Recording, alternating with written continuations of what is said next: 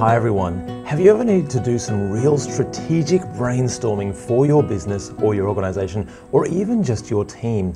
One of the best ways to do that is with Pestel analysis. And you'll find it's a very, very common form of analysis that can really help you find out what the risks are on the horizon so you can avoid them in the future. Now, Pestel stands for political, environmental risks, social risks, technological risks, economic risks and legal risks. And it's basically a form of these, uh, putting these into buckets. So, what are the political risks coming up on the horizon that we need to be aware of? And what do we need to do about it? So, what are the actions that we can take now that we know what's coming up and what's risky for our business? This particular sheet is really, really great because we do have that action register and we can create a new one very easily and it will give us the automatic numbers there as well, which is just a really nice little trick. We can do the same for our political uh, ideas here. Once we add a new idea, then it will give us a, a, new number automatically on the side. And we're also going to go through the exact questions that you can ask your team to do this brainstorming as part of this spreadsheet. So it's really, really valuable for you and your team. Let's get into it. Now, the first thing we're going to do is create the heading and the colors and the framing of our sheet. And we may speed this up ever so slightly as we go along so we can get into the really good stuff of creating the Pestel analysis itself for our cells, what we actually want is the first one can be normal, but C, let's have uh, the, the width of that needs to be around 40. And the same for column F, around 40, and that's going to give us something nice to work with. Now for our rows, if we right click these and say the row height, the row height for our rows, we want that to be around 30. Now that's going to give us something nice to start with. Now let's create our heading row we'll give ourselves just a nice light blue, a nice light turquoise color. Very, very nice. Let's merge and send to the top. This can be our Pestel analysis. And our second row, if we actually just merge this one as well, and what we want to do is color that white, and we're going to put a nice border around this one.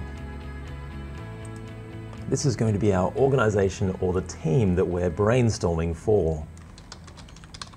Let's put that over to the left and increase the indent, maybe make it a little bit larger. And now we've got the basic heading for us to start with, which is really, really good. Now we can get into each of the, the analysis sections themselves. So first of all, let's create a template. So we'll select B and C in these, these first two cells. And for this one, we can actually just put a nice thick border around all of that. In fact, let's go a step further and select more borders and see how many we can do at once. So if we actually keep our thick border here, maybe we're going to make this a little bit of a gray border. And if we select these borders again, that will change them automatically. But we also want uh, a dashed line in between. Now that can be just a normal dashed line. We'll keep that color gray and we'll put that in the middle. And we just want a normal solid line for our, for our vertical line there. So if we select OK, then that's going to do a lot of the work for us. We might just want uh, to select that heading and give ourselves a thick border around the heading. Now that's looking really, really good. Maybe we'll get rid of this particular one on the side. There we go. Now that's looking a little bit better. So this first one, we're going to put a P over in the middle, and we'll put this in the middle and the center. Increase the size a little bit. And this will be our political section. Put this in the center and the middle and increase the size of that as well. Maybe make that uh, italic so that's a little bit nicer. Now for our heading area, let's make that a deep blue. We'll make the text white. In fact, the P can be bold and we can make that maybe just a lighter gray so it doesn't stand out too much.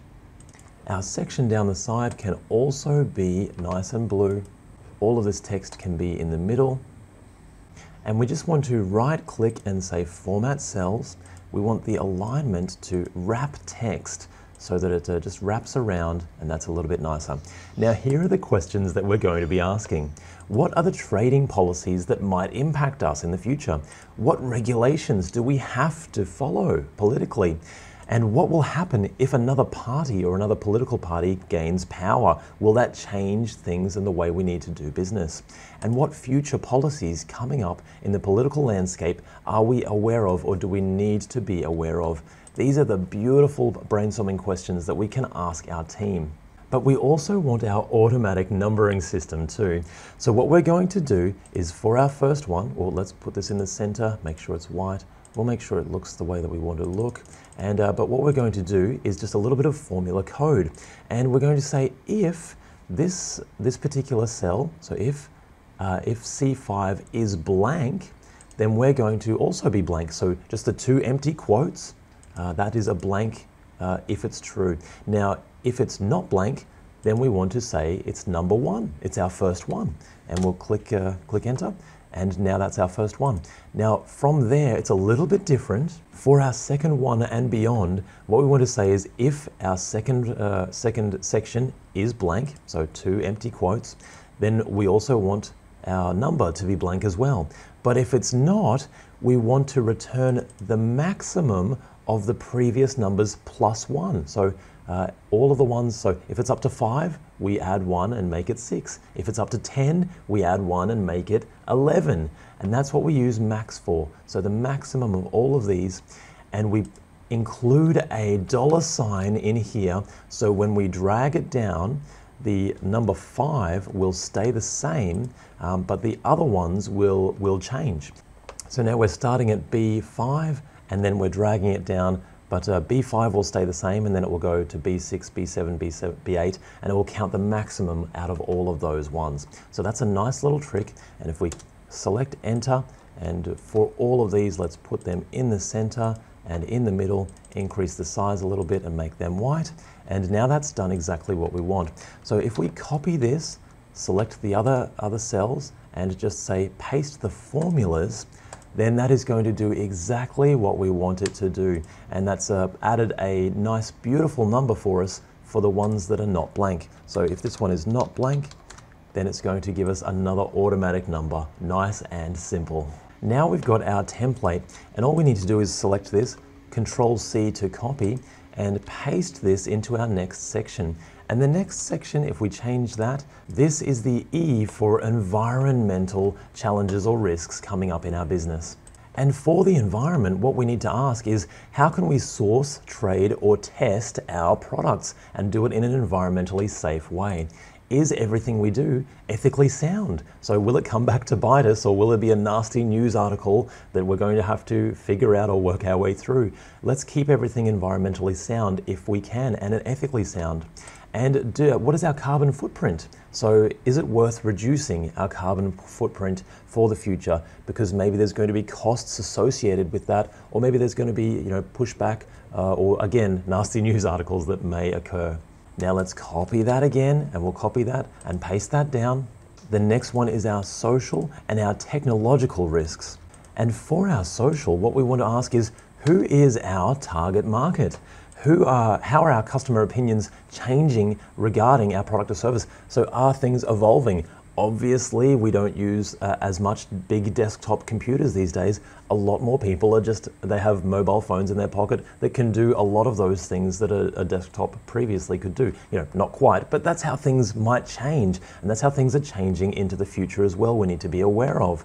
Um, is our core demographic growing or slowing down? Or, are, uh, or is our core demographic aging? Or, you know, are we bringing in more young people? Or you know, whatever that is, is our demographic changing? And how do we interact with our, with our uh, customers on social media, which is really important as well? Or are there any other channels that we need to to contact people or work with people or customers through. For our technological risks, what, technology is critical for our day-to-day operations? What do we absolutely have to have and it can't go down, it can't have any downtime for this? How do we protect that? Uh, what is the new technology that's available that could streamline our business in the future? Do we depend on third parties? So that's really important. Um, is there a risk there? Do we need to uh, own a part of that, or do we need to bring them in house, or do we need to build it in house as well? Uh, how are we using technology to stay ahead of our competition?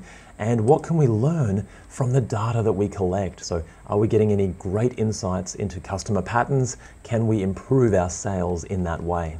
And you'll notice our numbers have just gone a little bit awry. So let's have a look at this. Uh, if we select the four that's a little bit off, you'll see it's actually selected all of the ones uh, from, from the top. So what we'll do is just drag this back down uh, so that that's starting from the one that we wanted to.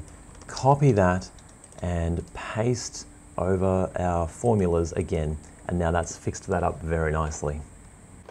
Lastly, we want to look at our economic and our legal challenges. And for our economic challenges, what taxes are going to impact our business? And is the economy that we're working in stable, unstable, or is it growing or slowing down for the industry that we're working in? For our legal questions, how are we impacted by changes to legislation or regulation? And how do we keep ourselves compliant with necessary government regulations? Um, and are we up to date with data protection? So, data protection laws in all the countries that we operate in. So, do we need to be open with our data or you know, do we need to protect our data? So, these are the things that we need to know in the specific countries that we are operating in.